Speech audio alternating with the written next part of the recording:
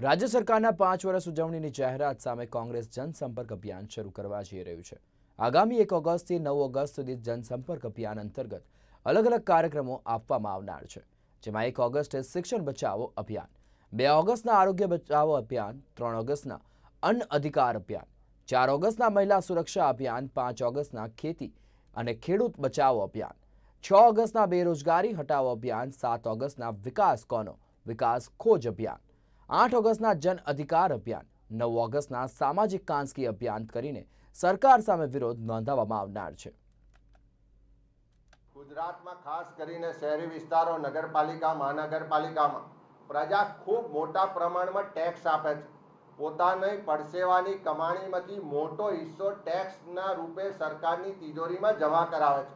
એની સામે પ્રજાનો અધિકાર છે કે સારા રસ્તા મળવા જોઈએ શુદ્ધ પીવાનું પાણી મળવું જોઈએ, શુદ્ધ પર્યાવરણ મળવું જોઈએ, ટ્રાફિકની સમસ્યાઓમાંથી મુક્તિ મળવી જોઈએ, સારું કાયદો વ્યવસ્થાવાળું શાસન મળવું જોઈએ અને સાથે સાથે શિક્ષણ, આરોગ્ય અને બીજી માળખાગત જે સુવિધા છે, સ્વચ્છતા છે, ગટર છે, એની પૂરેપૂરી પ્રજાની સુખાકારી માટેની રકમો વપરાવી જોઈએ. સમગ્ર ગુજરાતની નગરપાલિકા, મહાનગરપાલિકાના વિસ્તારો માટે અમે આઠ ઓગસ્ટે જન અધિકાર અભિયાન, એટલે કે પ્રજા જે ટેક્સ ભરે છે, એના સામે એની જે સુવિધાઓ મેળવવાનો એનો અધિકાર છે, એ વાતને લઈને કાર્યક્રમ લઈને આવી રહ્યા છે.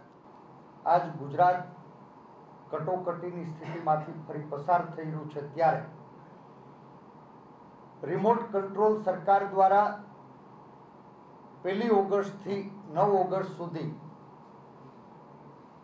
જે લોકોને ભ્રમિત કરવા કાર્યક્રમો ઘડ્યા છે, એની સામે સત્યને ઉજાગર કરવાનો પ્રદેશ કોંગ્રેસ સમિતિએ સંકલ્પ કર્યો છે. અને સરકારની નિષ્ફળતાના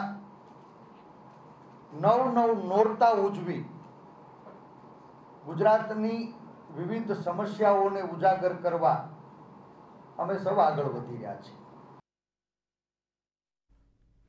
અમદાવાદ મ્યુનિસિપલ કોર્પોરેશનની સામાન્ય સભા સોશિયલ ડિસ્ટન્સિંગના પાલન સાથે ટાગોર હોલ ખાતે મળી હતી. મેયરના અધ્યક્ષ સ્થાને ચૂંટાયેલા પ્રતિનિધિ